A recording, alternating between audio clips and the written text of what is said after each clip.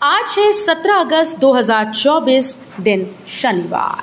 Welcome back to clean news UP चलिए देखते हैं उत्तर प्रदेश की 25 फटाफट बड़ी खबरों को।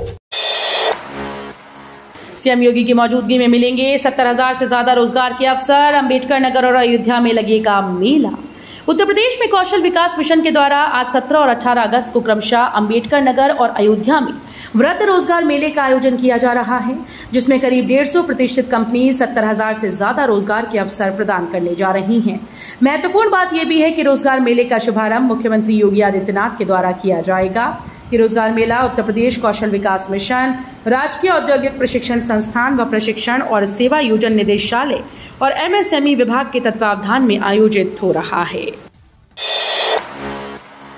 गाजियाबाद से सीधे कानपुर के लिए भर सकेंगे फर्राटे। National Highway Authority of India ने अब गाजियाबाद से सीधे कानपुर तक फर्राटे भरने की तैयारी शुरू कर दी। दरअसल, NHAI Ghaziabad to Kanpur expressway project पर काम कर रहा है। एनएचएआई का अलीगढ़ खंड इस एक्सप्रेसवे के डिटेल प्रोजेक्ट रिपोर्ट तैयार कर रहा है। इस प्रोजेक्ट को ग्रीन फ़ील्ड का नाम दिया गया है। प्रस्तावित एक्सप्रेसवे गाजियाबाद और हापुड़ को कनेक्ट करेगा और सीधे कानपुर रिंग रोड पर ले जाकर मिला देगा। भाजपा अधिकारियों के बल पर जीतना चाहती है यूपी उपचुनाव। अखिलेश चुनाव आयोग से करेंगे शिकायत। समाजवादी पार्टी प्रमुख अखिलेश यादव ने कहा कि बीजेपी के लोग अधिकारियों के माध्यम से चुनाव जीतना चाहते हैं। इसलिए इसी हिसाब से अधिकारियों को हटाना, अधिकारियों की पोस्टिंग करने का काम हो रहा है। इसकी शिकायत सपा चुनाव आयोग से करेगी। इसलिए अखिलेश ने ये बात शुक्रवार को वीरांगना अवंतीबाई लोधी की प्रतिमा पर पुष्पांजलि अर्पित करने के बाद पत्रकारों से कही। उत्तर प्रदेश सरकार का बड़ा फैसला होगा सबका फ़ायदा। उत्तर प्रदेश के मुख्यमंत्री योगी आदित्यनाथ ने बहुत बड़ा फैसला किया है। उत्तर प्रदेश के सीएम योगी के इस फैसले को ऐतिहासिक फैसला कहा जा रहा है। उत्तर प्रदेश के सीएम योगी ने इस बड़े फैसले की घोषणा करते हुए कहा कि उत्तर प्रदेश को गरीब मुक्त प्रदेश बनाया जाएगा। उत्तर प्रदेश के मुख्यमंत्री योगी आदित्यनाथ ने ये घोषणा की। उत्तर प्रदेश की राजधानी लखनऊ में एक समारोह को संबोधित करते हुए सीएम योगी ने ये बड़ी घोषणा की। जेवर इंटरनेशनल एयरपोर्ट से बड़ी खबर। ग्रेटर नोएडा के जेवर में बन रहे नोएडा इंटरनेशनल एयरपोर्ट से जुड़ी हुई खबर है। एयरपोर्ट का संचालन शुरू करने के लिए सबसे ज़्यादा ज़रूरी एयर ट्रैफ़िक कंट्रोल टावर बनकर तैयार हो गया है। शुक्रवार को यह जानकारी Yamuna Expressway Industry Development Authority के मुख्य कार्यपालक अधिकार डॉक्टर अरुणवीर सिंह ने दी। सीओ ने बताया कि air traffic control tower Airport Authority of India को सौंप दिया गया है। एएआई ज़रूरी टेस्टिंग और दूसरी औपचारिकताएँ पूरी करके निर्माण कर रही company Yamuna International Airport Limited को अनापत्ति प्रमाण पत्र सौंपेगा। ग्रेटर नोएडा के बाद अब गाजियाबाद भी बनेगा ग्रेटर। दिल्ली से सटे उत्तर प्रदेश के दो बड़े ज़िले गौतम बुद्ध नगर नोएडा और गाजियाबाद का लगातार विकास हो रहा है। नोएडा के बाद ग्रेटर नोएडा की स्थापना हुई और अब ग्रेटर नोएडा फ़ेज़ टू की तैयारी है। साथ ही गाजियाबाद के एक्सपेंशन की भी तैयारी तेज हो गई है। गाजियाबाद विकास प्राधिकरण इस एक्सपेंशन प्लान को महानंदीपुरम के रूप में आकार दे रहा है। अब तेरह सौ पचास नहीं, छह हज़ार रुपए में बनेगा ड्राइविंग लाइसेंस सितंबर से सिस्टम लागू।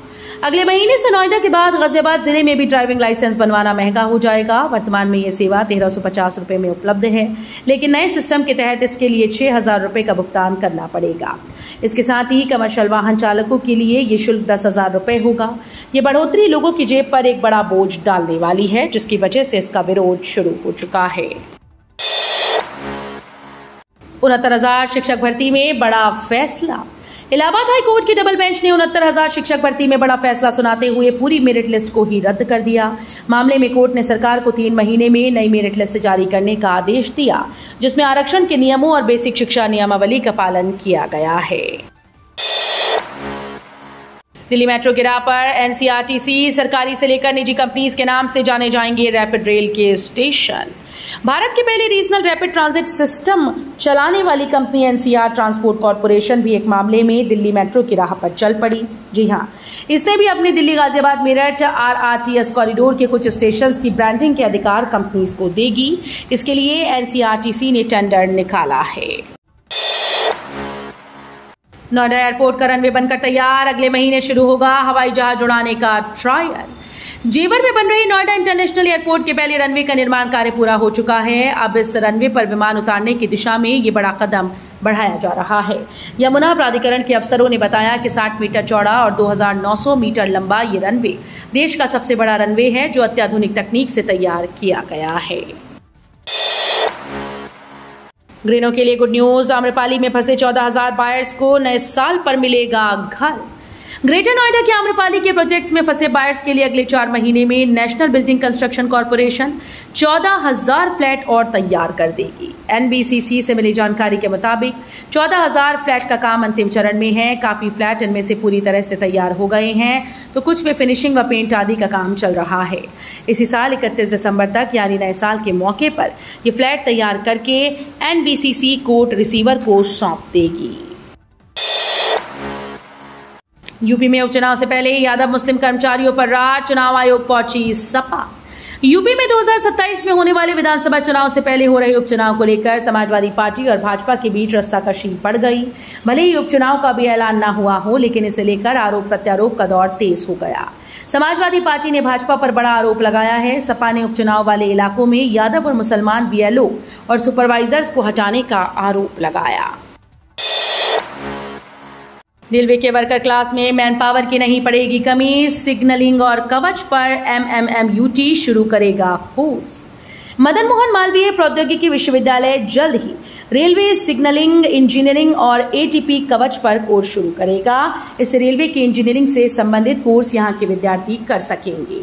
भारतीय रेलवे सिग्नल इंजीनियरिंग और दूरसंचार संस्थान सिकंदराबाद के सहयोग से ये शुरू होगा। बढ़ने लगा गंगा यमुना का जलस्तर निचले इलाके में अलर्ट गंगा और यमुना का जलस्तर एक बार फिर से तेज़ी से बढ़ने लगा है। प्रशासन ने निचले इलाकों में अलर्ट जारी कर दिया, जिससे लोग सुरक्षित हो सके। पिछले 24 घंटों की अगर बात करें तो नैनी में यमुना का जलस्तर इक्यावन सेंटीमीटर बढ़ गया। कल सुबह उनासी दशमलव उनचास मीटर जलस्तर रिकॉर्ड किया गया, जबकि छतनाग में गंगा का जलस्तर अठहत्तर दशमलव सत्तर मीटर जलस्तर रिकॉर्ड किया गया। गुरुवार सुबह आठ बजे की तुलना में शुक्रवार सुबह आठ बजे जलस्तर में सत्ताईस सेंटीमीटर की बढ़ोतरी दर्ज की गई। ताजमहल में जलाभिषेक और दुग्धाभिषेक की याचिका पर अब सुनवाई 27 को। एक बार फिर से ताजमहल या तेजू महालय का विवाद गर्मा गया है।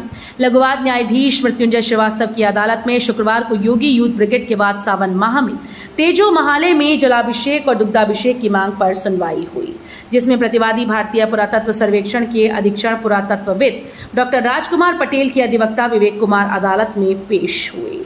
उन्होंने नोटिस का जवाब देने के लिए कोर्ट से समय मांगा। पहले आओ, पहले पाओ, गाजियाबाद में घर खरीदने का सपना होगा पूरा। जीडीए ने लॉन्च की 1748 फ्लैट्स की योजना। गाजियाबाद विकास प्राधिकरण ने अठहत्तरवीं स्वतंत्रता दिवस के अवसर पर 1748 फ्लैट की योजना लॉन्च की है।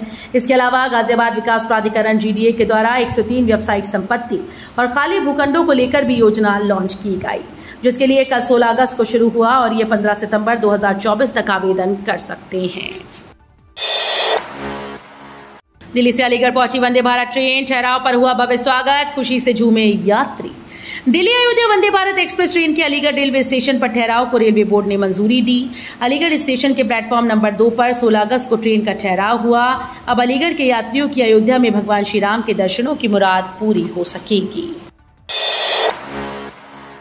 राज्यपाल आनंदीबेन ने की आरोग्यमय, सुखमय, समृद्धमय व शांतिमय जीवन की कामना। उत्तर प्रदेश की राज्यपाल आनंदीबेन पटेल की प्रेरणा से राजभवन में सामूहिक रुद्राभिषेक कार्यक्रम संपन्न हुआ। कार्यक्रम में राज्यपाल आनंदीबेन पटेल के अलावा राजभवन के अधिकारी, कर्मचारियों ने प्रतिभाग कर अनुष्ठान संपन्न कराया। दिवाली देव महादेव को बेलपत्र, कमल पुष्प, दुर्वा, अनेकानेक पूजा सामग्री अर्पित कर गौ, दुग्ध और जल से रुद्राभिषेक किया गया। रुद्राभिषेक के बाद राज्यपाल ने वैदिक मंत्रोच्चार के बीच हवन व आरती की। अपने सिंबल पर दो सीटों पर उपचुनाव लड़ेगी निषाद पार्टी। एनडीए में सीट बंटवारे से पहले कैबिनेट मंत्री संजय निषाद का ऐलान। यूपी में 2027 में होने वाले विधानसभा चुनाव का सेमीफाइनल माने जा रहे उपचुनाव में सीटों के बंटवारे पर एनडीए में शामिल निषाद पार्टी ने एक तरफा घोषणा कर दी। योगी सरकार में मंत्री संजय निषाद ने 10 में से दो सीटों पर अपने चुनाव चिन्ह पर लड़ने का ऐलान कर दिया। पार्टी के स्थापना दिवस पर आयोजित समारोह में सैकड़ों कार्यकर्ताओं और नेताओं के सामने किए गए ऐलान को दबाव की राजनीति माना जा रहा है। अब बिना टिकट ट्रेन में यात्रा नहीं कर सकते। जीआरपी आरपीएफ जवान, रेलवे ने नियमों में किया बदलाव। भारतीय रेलवे अपनी सेवाओं को लगातार सुधार रहा है। यात्रियों के अनुभवों को बढ़ाने के लिए रेलवे लगातार काम कर रहा है। इसी क्रम में रेल मंत्रालय ने जब जीआरपी और आरपीएफ जवानों की ट्रेन यात्रा के नियमों को भी बदल दिया, अब जवानों को रेल यात्रा के दौरान टिकट खरीदना अनिवार्य होगा। नब्बे साल बाद रक्षाबंधन पर बन रहे चार अद्भुत संयोग भाई बहन का रिश्ता होगा मज़बूत। रक्षाबंधन पर इस बार करीब 90 साल बाद चार शुभ महासंयोग बन रहे हैं। ग्रह नक्षत्रों का यह अद्भुत संयोग भाई बहन के रिश्ते को और मज़बूत करेगा। शाहजहांपुर के श्री रुद्र बालाजी धाम के पुजारी पंडित काना कृष्ण शुक्ल ने बताया कि महावीर पंचांग के अनुसार उन्नीस अगस्त को रक्षाबंधन का पर्व मनाया जाएगा। इस बार रक्षाबंधन के दिन चार अद्भुत संयोग बन रहे हैं। रक्षाबंधन के दिन सर्वार्थ सिद्ध योग, रवि योग, शोभन योग और श्रवण नक्षत्र का महासंयोग बन रहा है। इसरो ने कर दिखाया कमाल लॉन्च किया एसएसएलवी मिशन का अंतिम रॉकेट। भारतीय अंतरिक्ष अनुसंधान संगठन ने आंध्र प्रदेश के श्रीहरिकोटा स्थित सतीश धवन अंतरिक्ष केंद्र से S S L V D three EOS आठ मिशन का तीसरा और अंतिम रॉकेट सफलतापूर्वक लॉन्च कर दिया। S S L V D three ने ईओएस आठ को कक्षा में सटीक रूप से स्थापित किया। इसरो के लिए ये एक बड़ी सफलता है।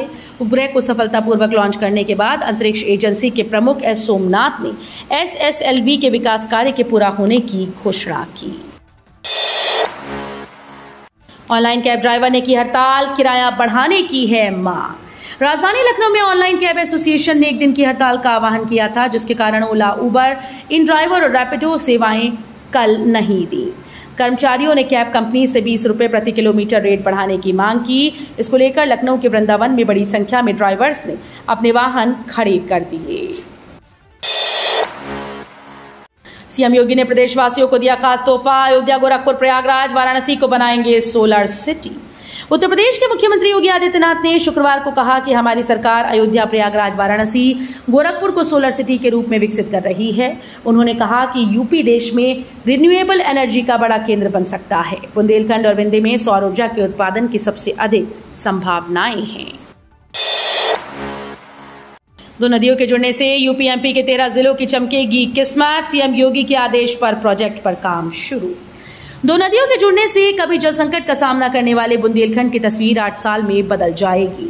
इस क्षेत्र में सिंचाई और पेयजल के संकट का स्थायी समाधान करने के लिए केन बेतवा परियोजना को समय से पूरा करने के लिए योगी सरकार विशेष प्रयास कर रही है। इस प्रोजेक्ट से अब उत्तर प्रदेश का हमीरपुर जिला भी जुड़ जाएगा। मुख्यमंत्री योगी आदित्यनाथ के आदेश के बाद प्रोजेक्ट में हमीरपुर को भी शामिल करने की योजना पर काम शुरू हो गया है। तो ये थी आज की 25 फटाफट बड़ी खबरें। अगर आपको न्यूज़ पसंद आई हो तो वीडियो को लाइक और शेयर ज़रूर करें। धन्यवाद।